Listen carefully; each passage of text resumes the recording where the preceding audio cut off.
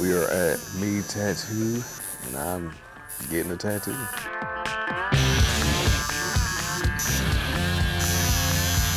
Just was getting done, a little bit more outline done on the chest.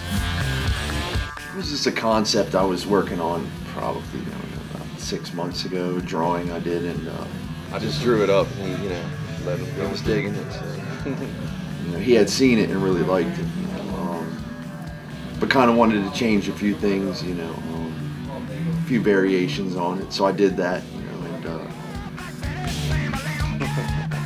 say if somebody wants to come in and get a piece of custom work, um, usually I'll set up a consultation, talk with the artist, um, kind of get an idea on what they're trying to go for, and then I guess they leave it up to the artist to have like uh, artistic freedom with the design. Usually, like I'll start off with, you know, I'll sketch on the skin with a pen, you know, and then depends on how extravagant the design, you know, it's, it's usually broken up into sessions. We've been quite a few sessions now, so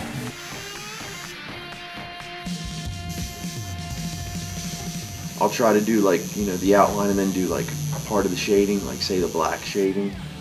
And uh, that way, you know, that heals up pretty quick. You know, they can come back in within a week or two to get color put in. Know, usually got like two to three appointments per day. Um, start at noon. Um, just work all day. I use a pneumatic machine.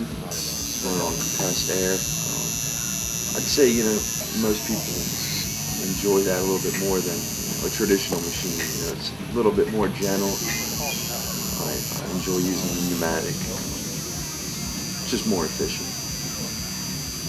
I guess being in the tattoo shop, you get so many different types of people, you know, and it's, it's kind of cool to interact with, you know, the, the broad spectrum of people, everybody from the military to the gangsters, you know, it's just like, you know, and everybody seems to to respect, you know, um, the art and the whole tattoo kind of, you know, lifestyle, I guess, you know.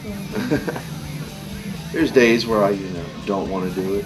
Um, you know, it's a pretty demanding occupation, I guess. You know, people have expectations, and for the most part, you know, I enjoy what I do, and you know, I get to put art on people for a living and get paid for it. So you really can't can't beat that. You know, you know I can't think of a better place to work. You know.